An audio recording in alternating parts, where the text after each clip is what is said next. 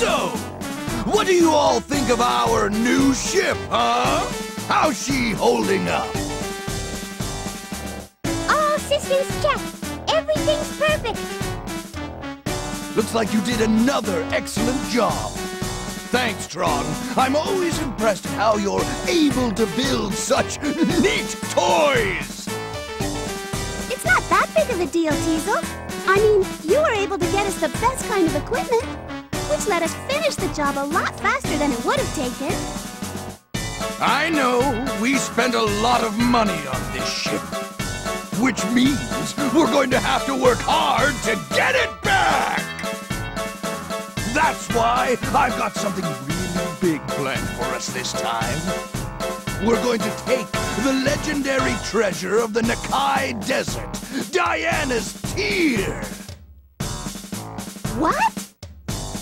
Supposed to be one of the biggest refractors in the world. How did you find it? It wasn't easy. I had to spend a lot to get that information. That old junk dealer drove a hard bargain.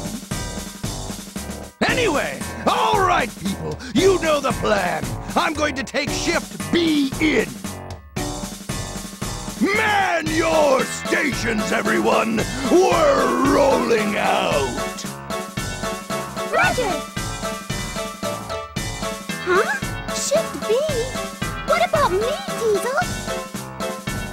Tron, you stay here with the Gesellschaft.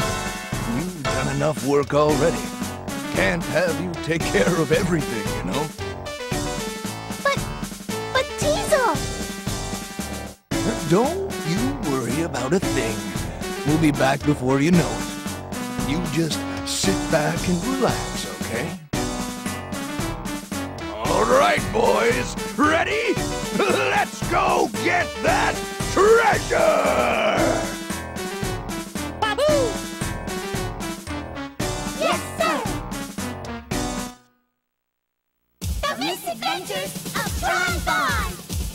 Aloha, everybody. It is I, the Great Clement, and now, ladies and gentlemen, I'm going to be tackling this spin off to the Mega Man Legends series. This is the Misadventures of Tron Bonne. This game came out in 2000, uh, the same year that Mega Man Legends 2 did, actually.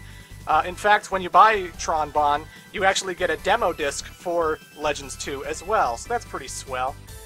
Uh, but this is a spin-off, everybody, and it's focusing on the girl member of the Bonne family, Tron Bonne, as well as her loyal Servbot minions, who we're going to be seeing quite a bit of. Uh, this is actually a prequel to the events of Mega Man Legends. That's why we're going to be seeing stuff like the Gesellschaft, because a certain blue boy hasn't destroyed all that stuff yet. This is a mixture of like action stages, puzzles, and all kinds of gameplay types, and uh, if I'm going to be quite honest, this is actually my favorite game in the series. Even though I admit Legends 1 is a lot more accessible and playable for newbies and stuff, I love this game to death. It's so charming, it's so fun, and I can't wait to get into it. So, uh, let's play this thing.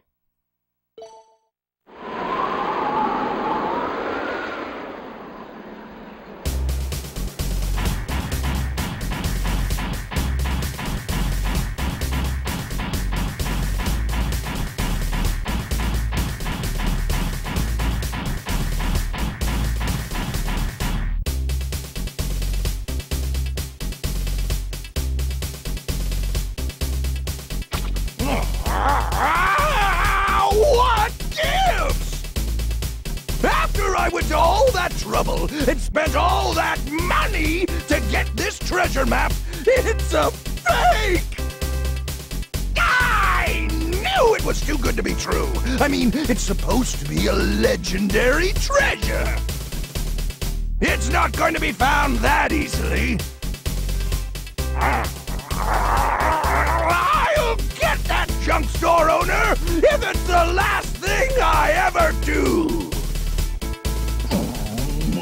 Heck are those ruins anyway? I've been looking for hours. this is the Gustav Bonbon. Can you hear me? Over.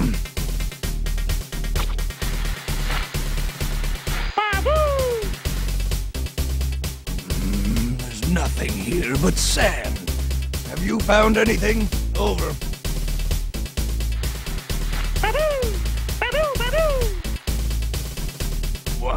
A giant doorway? That's it! That has to be the entrance we're looking for! I knew you could do it, Bon Bon! Now we're in business! What's your heading? North? All right. Stand by, I'm on my way! All right, boys, let's go!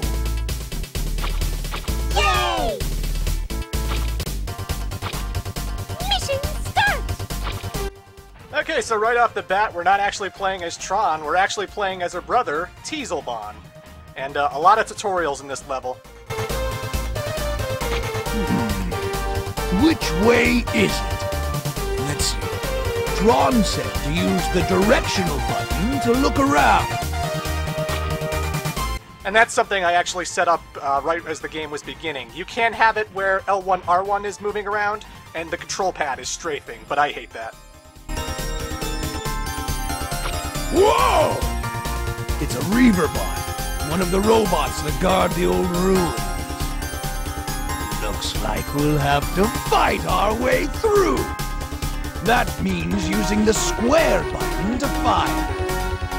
If I press the L2 button, the Gustav's weapons will auto-lock onto the target. When the game boots up, get uh, manual aiming. Do not get auto aiming because that will really screw you up in the later parts of the game when you're shooting at things you don't want to be shooting at. So get manual aim when you start the game. There's a little hole there. I bet the serve bots could fit inside. Hey, Tron.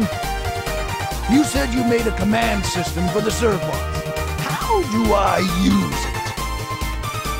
Press the R2 button, Teisel. See a target appear. Use the directional button to move the target to where you want the Servbots to go. And press the fire button. That will launch a beacon bomb, which will tell them where to go. Got it. All right. Let's give it a try. So yeah, we are controlling this Gustav machine, which acts sort of like Mega Man does. It shoots, it strafes, it jumps. It's just a lot slower and bulkier. But the big gimmick about Misadventures of Tron Bonne is that, well, we have a whole bunch of minions. We can shoot the Servbots in so many different directions, and depending on what they interact with, they can go in caves to look for refractors to get Zenny and stuff. They can hold down enemies to beat them up.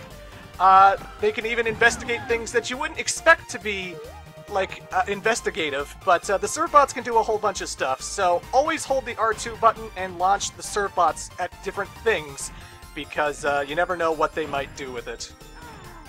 The Gustav is pretty good though. Um, it's a lot slower and bulkier than say Mega Man, but it can survive quicksand. It can pick up things with the triangle button. It doesn't matter if it's a car, a tree, a street light. You can pick up things with the triangle button, and it is so freaking powerful it can destroy walls like this cracked one over here. Booyah! So when I pause the game, I have 800 Zenny, and you can see Teisel in the driver's seat. Well, sorta. The Servbot is actually controlling the machine that we're driving around in, the Gustav, as it's called. Um, but uh, we are in the, the machine itself. We are with Teisel, you know. So we had 800 Zenny from the one Reaverbot we killed and the one cave we investigated. Look at all those red refractors. Red refractors are the best refractors in this game, and they got me a whopping 30,000 Zenny. You do not want to miss out on that cave. That is a good, good cash flow very early in the game. So yeah, now the game's going to tell us that we can pick up things, even though I just did it. Hmm? There's some rocks blocking the road. What was it Tron said? Ah, that's right. Use the triangle button to pick things up. Now, when the Gustav is carrying things, it can't shoot its buster shots, it can't use its weapons, but it can still use beacon bombs, which is always swell. So even when you're holding a giant boulder over your head, you can still get the Servbots to hold down enemies and stuff uh, in case you need like a really easy shot, you know?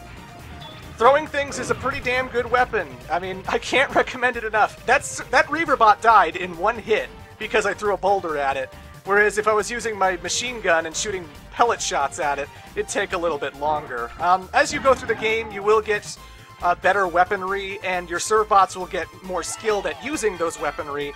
Uh, that the Gustav will be a force to be reckoned with. But early in the game, if you have to take out big, big Reaver bots like this guy over here, chuck something at it, and you're dead.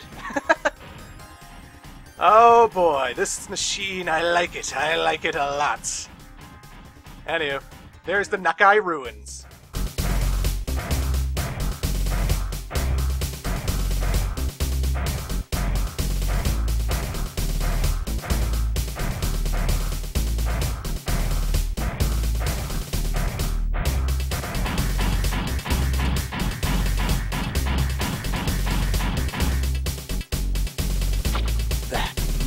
Be it! Ahem. This is the Gustav. Come in, Gesellschaft. Gesellschaft here. Go ahead. I'm in front of the sub gate. I'm going to go in. Tell Tron not to worry. Over. Teisel, is everything okay? How's the Gustav holding up? That you, Tron? Everything's fine. The Gustav's doing great. How could it not, after all? You made it. Don't worry about a thing. We'll be home with the treasure before you... Huh? What's that?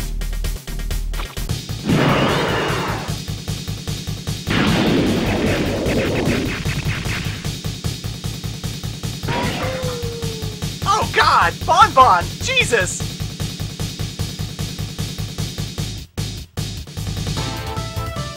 Huh? You! What? What's going on, Teisel? Teisel! You're a hard man to find, Tinkerbell. Don't you recognize me? I'm Kurt. It's me, Glide. I work for Mr. Lowe, remember? Sure you know why I've come all this way to find you. Don't you, dear? Wait! I can get the money I borrowed from Lowe back real soon! Once this job's over, I'll have your money, honest! I'm afraid it's too late. The deadline is long past. Give it back. All of it. Now. Time to pay the piper! Ah! Listen! If you'll just wait a few more... Silence. Don't you understand? Your time is up. You leave me no choice but to exercise our option. That big body of yours is mine now. Come along. What's going on, Teisel? What's happening? I've run into a little trouble later on. Don't worry, though. I'll be back soon.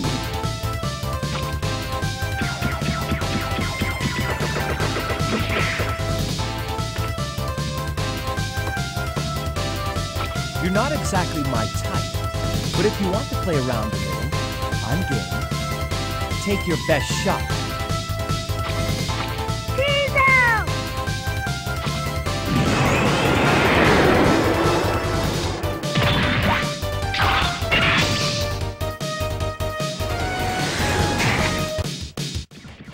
Okay, so we got ourselves an intro boss, and Glide is nothing but talk. All he really does is he shoots electricity, but he's so freaking slow that you can easily get right behind him and just keep shooting him from behind. Uh, the Servbots can't do anything to this boss, so all you have to do is strafe and shoot, and, uh...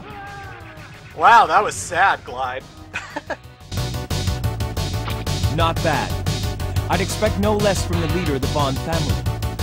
But not quite good enough.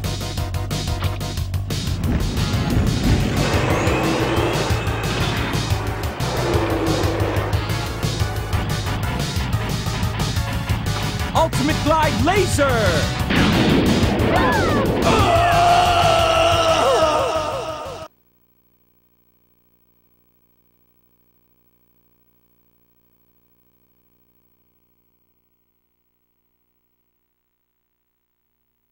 Miss Tron, we've lost contact with the Gustav. I wonder if Teisel's all right. He said he'd run into some trouble. It's no use standing around here worrying. I'm gonna go to their last known position and make sure everything's okay. Block D, can you hear me? We're heading out in a druck to look for the Gustav. The rest of you, wait at your normal stations, okay? Roger, yes, ma'am. Yay, we're going on a mission. So I'm definitely excited to be playing through this game, ladies and gentlemen. It's pretty rare and a little bit expensive to find nowadays. And, uh, come back for part two, because we haven't even scratched the surface of this game yet. Till then.